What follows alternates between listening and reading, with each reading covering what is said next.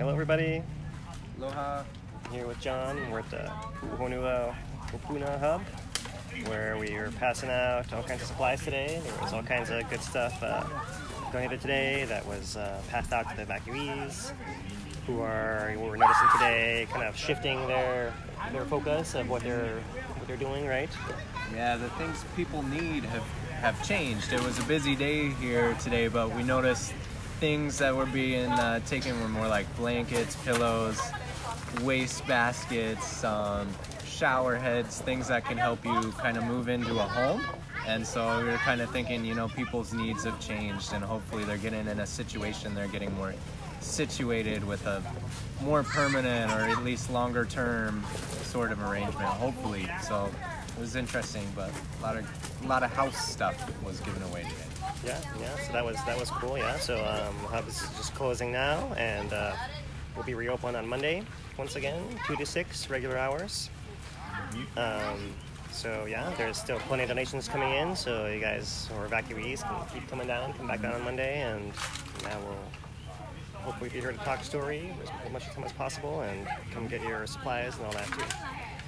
So, so yeah, that's a so it's a short little update. We're gonna give you guys a little eruption update here. Also, we're not gonna drag it out too long with any kind of deep dives into theory. At least That's the plan. But Our we'll see, plan is we'll see how it goes. Yeah. yeah. So, um, someone just asked about Pu'uo'o on here. What's our quick Pu'uo'o update? Oh, well, the the update probably people are interested in is that where there were rock falls uh, through the week, spread over several days at one point, um, that created some dark plumes, brown plumes or ashy-looking plumes, and that's associated with the collapse inside Pu'uo'o. And then the other aspect is Pu'uo'o is the one of our tilt meters has been recording that rise for some time now, and that's that's still going up. Um, but probably the thing most people have heard about is those dark plumes. And it indicate people see the dark cloud coming from Pu'uo'o and they think, oh, is it erupting? Is there activity?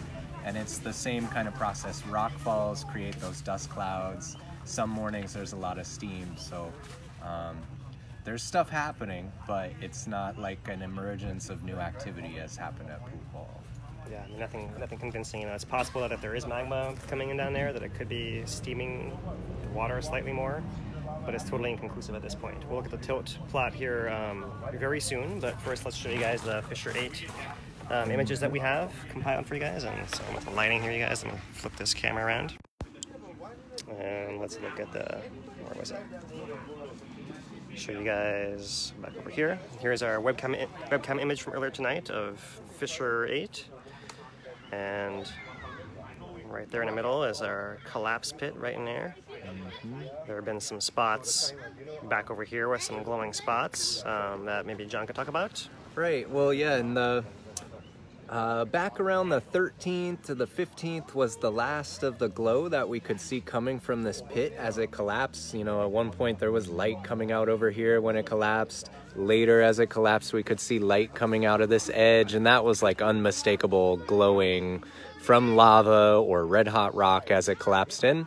And lately, we don't have any of that incandescence in the in the pit crater but we do see random little lights. So there's one real consistent one up here on the wall. There's one over here, one over here, and then the one down here by where the gas is coming out looks like a little candle or something at night. You can kind of see the gases fluctuating and waving in the time lapse. And so those little teeny lights are a little hard to explain. We debate whether or not they actually exist, but if anything, they're probably a little bit of glow lighting up the gases in some of those sulfur fur- fumaroles or something like that. Um, so there are some weird little dancing lights, but um, they're not coming from the bottom of this collapse crater. They're coming from tiny little sources somewhere around the wall and might be associated with some really hot vents. It's a little hard to say, but things we're watching. Yeah, so if, you know, if they really are hot vents, they could, it could be glowing. It could be some, you know, we're not, uh, you know, maybe it's not strong enough that we can eliminate some kind of optical issue Yeah. with a camera, perhaps. You know, it's not really clear. Um, but you know, maybe the most extreme thing it could possibly be is like a crack. Maybe like you know, maybe this collapse area from in here is expanding outwards. And let me flip the view here to the next one. Yeah. Really and this is the, the overhead view. Let me gonna get this in this focus a little more there. Oh, there we go. Um, this is from uh, Mick Kalber's video from yesterday, Tropical Visions. And overhead view, you guys can see the, the camera is looking in is somewhere down over here looking in this direction. So this is a collapsed pit right over here. It's much longer in a direction of the camera view. You don't see how deep it is, right, compared to how wide it is in that camera view. So that view of spots is back over here. And it could be that, you know, this thing might actually be like a center collapse pit and there could be actually cracks forming on the outside of here somewhere. And if some of those cracks, you know, if, if we see like lots of glowing spots all in a line, which you could argue that maybe they are, maybe they aren't, hmm. then maybe they could be, you know, piece of a crack that's opened up, opened up again. Yeah. So that's the, you know, like probably, the, you know, let's call it the most extreme possibility. Even that doesn't show us any indication of lava coming up necessarily. There's been no steady increase in glow. Those little lights are really faint, something where if you weren't looking at the camera, you probably couldn't see them from anywhere. Hmm. Right? Yeah, they're really, really small. The camera picks them up and, you know, they weren't there and then they appeared, got slightly brighter, but overall, they're really, really small. And, you know, it's hard to tell if the camera can see them better than us or if, if we actually could stand there and look into the vents in the night, they might be visible to the naked eye, but really, really small. And it's just interesting, you know, the, the pit started collapsing somewhere in here and expanded lengthwise over where the fissure was really long kidney shaped and there's something going on over in here it looks almost like it might have collapsed a little towards the back as well but yeah the lights are are so small there's something i entertain myself with trying to figure out where they're coming from but no real major changes in the time we're watching those so. So yeah, um, that's uh, the Fissure 8 cam. Um, by the way, is on a USGS webcam site, um, and also uh, it's listed easily on a HawaiiTracker.com site as well, where there's a compilation of webcams and uh, uh, tilt links as well. If you guys want to check it, check it out there. So that's the the two the two uh, Fissure 8 um, photographs we're going to show you guys today. Let me go back to the tilt plots. Let's talk about the tilt next here. So looking at the tilt, let me, let me go to the USGS page first here. Looking at the tilt, we can see that over the last two days at the summit, um, there's been a net decrease in the tilt, despite these little daytime bumps that we get, and despite these little earthquake bumps that we, spikes that we actually have. And over the last two days at the rift zone, you can see there's a slight increase in inflation, right? With no, nothing kind of quite as funny in there, right? Maybe you don't, don't really even see those daytime signals, although there's a couple little bumps there and there's, you know, it doesn't quite correspond. The scale, so you guys can tell on this upper plot, that we start off at just below one and we end up just above minus 0.5. Right, so that is uh, a little bit over one microradian of deflation. And on this lower plot, we're starting at minus 0.5 and we're ending up at plus 0.5, so that's a plus one microradian of deflation. This is for the last two days, just to give you guys a scale. And then looking at the, oh, looks we got a, we got a cricket on here. See it, cricket? Um, so uh, both plots together, looking for the past week. And you guys can see the summit in blue was going up slightly, going down more. The rift zone was kind of flattish, going up slightly, then going up slightly more, then going up slightly less, and going up slightly more. But that's the trend of it. And on this scale over the last week, we're basically um, from minus one to a little bit over plus one up here. So it's a little bit over two over the last week, and a little bit less than one microradian drop at the summit over the last week or so. So let me go, let me go to the Hawaii tracker page now, till page, because here we have a nice lineup of these plots. Oh, and by the way, this is the other summit station, which is the one that was repaired after the lightning, slightly different than the other plot you guys see see on the um, USGS page, um, and it doesn't quite show the daytime bumps as prominently, um, but it does still show that overall deflation at a scale of about a microradian also or so.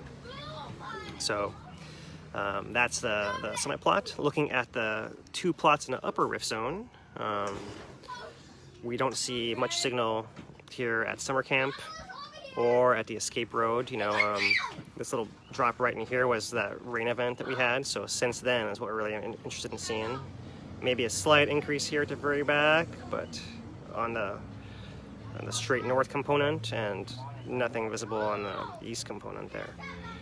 So um, zooming into the summer camp plot, you can see that was our rain event over here, and it's been maybe maybe wiggling, but mostly flat there, and if anything, dropping here at the bottom on, the, on that other signal. So now moving down rift zone, looking at Mauna Ulu, um, we have a lot of variation from daytime signals here, but we want to basically look at the, let's look at, for example, the bottom of these arcs of, of, of these signals, the oscillation signal. So this is our rain area right here. And since then, we've had, had a fairly steady increase, which kind of parallels what we see in this plot down here at Pu'uo'o, um, at least on this component. Um, that is showing in the last, what is that, two days, uh, about a two microradian, is that right? From here, from one to almost three, almost two microradian component on this, on this, uh, mm-hmm. actually that's not two days, that's a, uh, what, since the 16th, right? So that's three days between them, I think, right? So yeah, six days or so, right? Mm-hmm. The last six days or week or so, right? That's the blow up of the last plot we kind of showed. And looking at that, um, we can see that there was a similar kind of increase earlier on in the month for kind of a flat, flatter time and for a little increase as well. But the scale of this, from the very bottom down here, look at this minus point, minus two right there, and at the very top, it's maybe two and a half or so. So on the order of four microradians increase total over the last month or so. So these are not huge amounts of, of ground tilt. Um, John and I have been arguing about how significant they are, and we'll probably do some more of that for you guys here. um, but just kind of starting off, that's the that's what the information is showing. And looking down here at the Jonica flow plot, which is the one closest closest down here to Leilani, um, there's two components, and it's a little difficult to kind of kind of tell exactly. But the one component is rising, while the second component is kind of going away, right? So. This part of it right here, you know, um, may indicate something coming in to the area underneath the Jonica flow area. But um, John and I disagree about how convincing that is that it might actually be magma. You know, um, John is right to say that this well could be magma coming in. It could be coming in and showing itself first up here at Mauna Ulu, and maybe maybe there's some signal up here that's just kind of obscure that we can't see for some reason in these farther up stations, but it's not really clear until you're not really clear or you know convincing that there's even a trend at all until you get to Mauna Ulu, which is the first rift zone station against the south flank. Um, we see that. So here, let's just let's look at this. The actual increase from here might have began sometime around let's call it 14th, 15th or so, right? The increase down here maybe starts maybe the 17th or so. Mm-hmm. And increase down here might start on the 20th or so, right? Mm-hmm. So there could be a progression there. Um, the real kicker to me is why why does a pattern not? Why don't we see that farther up, right, on the rift zone? And that's just not an answer that we have right now. Um, so it seems like um, the ground is tilting there for some reason. Um, one obvious reason will be the magma. Um, but um, my personal view, and I'll give John this platform chance as well, um, is that these signals are so small that I'm not convinced they actually are magma moving through. And if it is magma moving through, is it is at such a small amount that maybe it's not significant? Um, so I, I just kind of I've kind of um, just come come to that personal point of view just because um, I feel like there's a whole bunch of things that can actually um, cause tilt to change within that one two microradian range. Um, that's not magma. For example, we're seeing at Mauna Ulu, like you know, the, the huge variation of the daytime and nighttime from the heat and oscillations, a huge signal, right? It's kind of whatever else we're looking at is embedded within there. I mean, point that around is kind of just good example. It's just the most extreme case in my favor. It's not what, what the pool station looks like, right? But for example, like the range of increase from down here to up here is half a microradian or so. And in one day, we're rising and falling a full microradian up and down, right? So that's, that's kind of what I'm pointing out as far as the scale being so small that it's not very convincing to me because I can see some other effects. Clearly the daytime heat is producing a much larger variation than I see the variation total increasing through here. Now, these are two different separate signals, so, you know, they could both be happening, actually. You know, I'm not saying that it's not. I'm just saying I'm not convinced of that. So, um, When you look at it in this in this scale, it's not not as obvious because these little variations are not nearly as big, right? But you know, who's to say that the amount of increase from here to here is so much more insignificant than the one from here to here. So that's kind of where I'm coming from there. So, um, you know, um, without knowing exactly, you know, what, what other other things could be causing the ground to tilt besides magma, you know, we can kind of speculate it could be any kind of movement of fluid to the ground. Magma is the, the one that's the densest and, you know, pushes the most and, you know, would probably show the biggest signal. But, you know, I don't, I personally, you know, could imagine that some change in the groundwater flow, you know, um, or in the gas flow through the area of cracks from the, from the rift. Water flow could be, you know, from all these big rainstorms we've had from the hurricane, right? You know, it, it rained how many feet over here, like two weeks ago, and that water is going to move down towards the ocean, you know, through the rocks. So I just can't discount that, you know, that wouldn't form some kind of deformation wave, you know, that's very, very minor, but the tilt meter might actually pick up. So that, that's kind of where I'm coming from. I'm just not convinced, even though it might be a magma signal in there, that it actually is a magma signal. But fortunately, we have John to keep us on track, you know, for the possibility that it actually may well be, may well be magma. I'm going to turn the camera to you, John, I'll, here. I'll play devil's advocate again. So I I think it's probably magma. Um, so um, the the the game is you know we have to pick out the signal from the noise.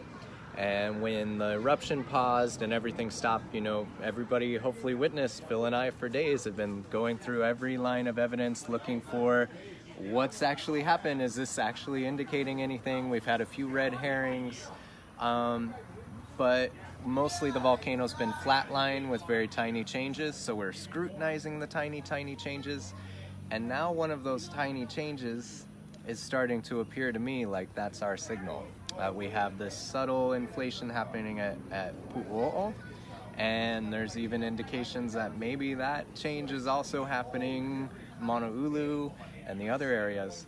But the one to watch throughout this is if that change in tilt is real, first off, you know, USGS noticed it immediately and said, well, this could be an indication of recharging of the rift. And you notice the language they're saying there. Uh, we have to be methodical, one step at a time with this process of reasoning. And yes, that could be a sign of magma refilling the rift. And so they noticed that right away. If that's the case, then the sensor to watch is down rift of Pu'uo'o, because we already knew the lava could get as far as Pu'uo'o for 35 years. The question is, can it still come all the way, the rest of the way down into the lower East Rift Zone? So the sensor to watch is JKA or JOKA, the Jonica Flow Tilt Meter and Seismograph, because they're one of our only instruments between Pu'uo'o and the lower rift. And so I've been watching that one very closely, and lo and behold, now that trend is changed, and we're seeing an uptick. We're starting to see that line is evened out, flattened out, flattened out, gotten flatter, flatter, flatter, until now it's rising again. So can we look at this one again? Yeah. And so this one is the one. This is the Jonica Flow Station. It's in Wao Kele o Puna Forest Reserve. And so it's basically flat, yeah, but a slight trend towards deflation, and definitely the, the tangential tilt was steady on down, on down. But about in here is when I was noticing, hey, it looks like that line is smoothing out, flattening out, and I was waiting to watch it rise, but instead this one went down. This one ultimately flattened out and transitioned to now we can see the trend is up. If we make our best fit curve, that trend is up where it used to be down. And you know, we have two lines of evidence here with every tilt signal. There are two types, and the the mathematics and all of this is it can be uh, uh, a bit for my brain to process. But if we average these two things, you see we have one going up, one going down. So those kind of cancel each other out, which is why Phil's not convinced about this signal. But one thing I want to suggest to you is even if we're not getting a lot of support for how much it's inflating, the magnitude is not extreme. The average of these two curves is still indicating that it's not deflating anymore. It's flatter than it was in the past. So that is still the type of change that we would expect if there were magma beginning to recharge the rift and if it's able to venture on past Pu'uo'o. Oh, so I think that these are the subtle signals of magma reoccupying a system that we don't know as well anymore after all the changes. That big pulse of magma that came through our eruption, the 6.9 earthquake, and other aftershocks. So I think there is something significant to these very small changes in tilt, especially with the sort of coordinated way that they're, they're appear to be propagating down the rift one station after another. Um, but I grant you, you know, this is science. My feeling is this is magma, um, and we'll have to wait and see if that continues to be more pronounced as a signal, if we can distinguish that signal out of the noise better over time, or if not.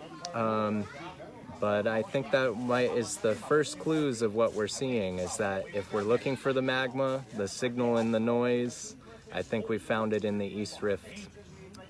Right, so possibly a couple of things. You know, first, first to help you finish fleshing out your thought, um, tell us why we wouldn't see the signal at the summit, and how this is possible that we could have this pattern of just the Right. Well, there's two ways to look at that. And one is we are kind of seeing signals at the summit. It's on a couple occasions inflated slightly before deflating again slightly. And I grant you these are small changes, so that's the similar kind of process we would see if magma was coming up to the summit and then draining out of the summit and heading into the East Rift. So I think that would be a natural curve if it was still going to the summit and then on through. The other thing is though, this signal, Pu'uo'o, is the first one to change and it's in the middle of the rift. And so that could be, oh, Mauna Ulu changes too. Huh? uh, Mauna Ulu changes too. It's just a lot noisier and hard to see. Noisier, but this is the first one that USGS confirms is changing signal. They haven't mentioned Mauna Ulu Just yet. yeah, because they don't show this one publicly, right? But this is that really, if you look at the bottom of this curve, Mm-hmm. it follows pretty much exactly the same path as this one. Okay. Well, um, I don't know what. In either case, it doesn't change your point. Yeah, uh, they're further down in the rift, but so that change happening independent of the summit, if that's what's going on, could indicate that magma is able to bypass the summit and head into the rift, which is one of the possibilities that we can't rule out in the beginning. So I remember at the town meeting, I actually asked uh, um, Tina, uh, scientist in charge, if if the rift began inflating, showing inflation first before the summit, would that indicate deep rift supply or bypassing the summit? And she kind of scratched her head and said, "Well, maybe." Because it would be pretty unique in any case to see the rift inflating before the summit. So, once again, unless these signals become more pronounced to convince others, then we just have a hint of that indication of the refilling of the rift. But the way this is all playing out, especially propagating down now to the JKA sensor, I think that's a significant sign that we need to keep watching. Yeah, yeah. Way to go way to plug us. We're gonna keep watching no matter what. You guys, don't worry. you know. Yep. Um, yeah. So um, that's back to our kind of original model um, discussion about can magma come in to the rift zone with bypassing the summit Hopefully not. um, or not. And you know, um, and I, you know, I still, I'm not convinced that it can. You know, until I see it actually happen. And you know, but it could. You know, these instruments have only been on the ground for 50 years or so. You know, and they've only been of this quality for less than that, 30 years. Even less than that, you know. So um, it's hard, hard to really say that you know whatever we see is going to be the first time we actually see this data for this kind of event, no matter what. So we'll have to, we we'll have to figure it out. Yeah. volcano now too. The, the whole volcano is in a different state at the moment. We're all aware of that. So maybe something about all of this massive shift in activity collapsing at the summit, maybe that changed some kind of configuration and it's flowing into the rift in a way it didn't before. Not too sure.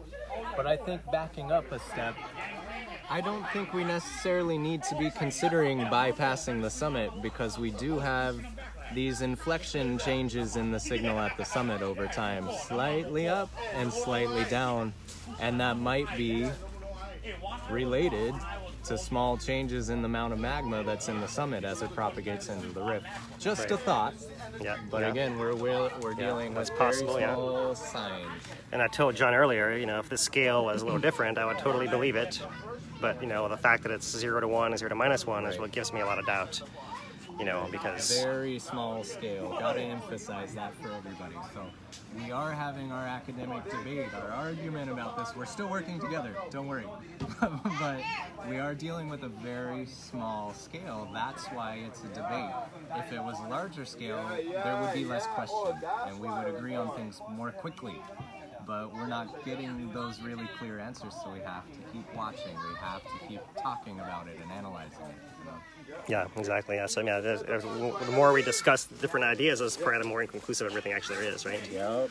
Um, one small point I wanted to make is just uh, um, for those who are a little more math inclined, is you it's you can't just exactly average these as they're vectors. Yeah, okay. So you actually got to take the square and a square and take the square root of both, which means that it's not actually doesn't actually work out in a flat. It means it's moving in a different direction than that, right? So it's not a consistent direction. Maybe is the easiest way to put it simply, rather than it averages to flat, which basically you know the easiest you know maybe to take another simple step. It makes it an inconsistent signal um, to what you would expect from if you know like if there was a gigantic like when magma first came through the area let's put it that way you know we, we would have seen a consistent signal probably both on both lines spiking up you know i forget what the scale was at that point you know 100 200 something like that microradians not that i would expect to see that, that kind of scale again you know not since we're not cracking the rock open from scratch again but you know i would expect to see you know 5 10 15 20 30 40 microradians you know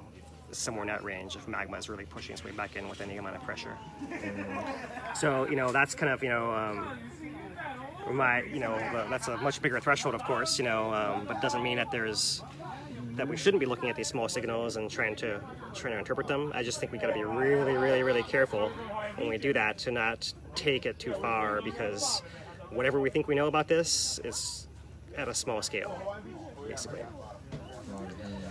So let me show you, let's let's kind of keep moving through. We're to try to make this on a shorter end if we can. And we kind of went down a tilt hole already so um, here is our earthquakes for the day, and of these, uh, marked in blue is the most notable one that happened um, this morning. At was it this morning? No, yesterday morning. No, this morning. This morning at two in the morning. Here it was a 3.7 on the south flank at a six and a half kilometer depth. So that's our typical south flank earthquake. It's going to be likely to be grouped right into that aftershock, so the 6.9, and that's true of all these over here as well. We have our summit adjustment earthquake still happening in there. Looks like there's, hard to say if they're all stacked on each other. Looks like there were three. Looks like there is three right in there. It looks like we have only one Pahala earthquake today. Let's see if that's a that's a deep one. Yeah, that's one of our deep ones. That's a 1.8 at 32, so we dropped off slightly. We have a couple earthquakes up here, which I'm sure we're going to get asked about, so I might as well talk about them already now. Where'd they go? These ones over here, which are, this is the Kawiki fault system between Mauna Loa and Kilauea. How do you say that fault again? Kawiki, Kawiki. Okay, I, I believe the name of I that believe one. that's I believe that's that's correct. Mm-hmm. And hopefully I'll get corrected if I'm not. In any case, that's the boundary between Kilauea and Mauna Loa. So after Kilauea kind of adjusts, Mauna Loa has a chance to adjust against it, and that's the boundary that reaches the surface here. It actually goes underneath Kilo, underneath Kilauea, kind of down and off in that direction to the south. And Kilauea kind of sits on top of that. So it's an inter- interesting boundary between the two volcanoes. It's not a magma boundary; it's a structural boundary between the flanks of the volcano.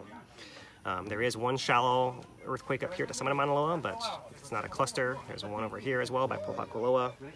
Um, same thing, you know, one earthquake here and there. You know, even if there was like three in an area in one day, you know, it could be one event basically releasing energy. But what about we have had several in about that same area over more like a week or more? Would that be anything indicative? You know, let's, let's switch it to seven days and see what it shows us.